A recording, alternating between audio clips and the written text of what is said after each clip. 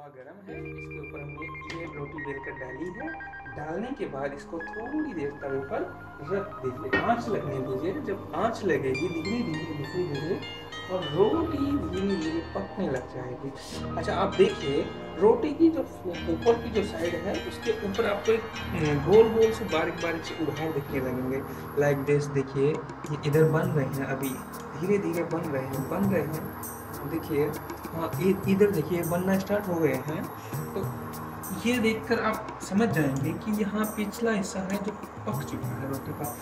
और जब पक चुका होता है, तब आप इसको टर्न करना होता है। देखिए, ये बन गए ये बबल्स बन गए ये हमने इसको क्या किया? टर्न कर दिया। कलर्स में आपको डिफरेंस लग गया। अब देखिए, इसको थोड़ी देर आँच पर पकने दीजिए जब पकेगी तो आपको लगेगा हाँ देखिए।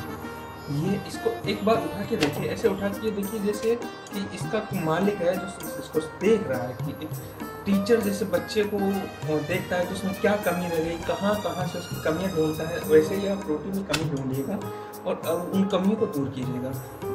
आपको लगेगा कि रियल में वो कमियाँ दूर हो रही है। अब जब ये पीछे से भी बनने लग जाए, तब आप इसको ना ऐसे टर्न कर दीजिएगा।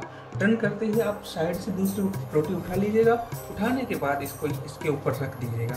रखने के बाद इसको हल्के हल्के हाथों से प्रेस कीजिएगा और टर्न कीजिएगा। घुमाइएगा धीरे धीरे घुमाइएगा धीरे धीरे घुमाइएगा धीरे धीरे घुमाइएगा और बिल्कुल उस साइड से दबाइएगा जिस साइड से आपकी रोटी फूल चुकी है।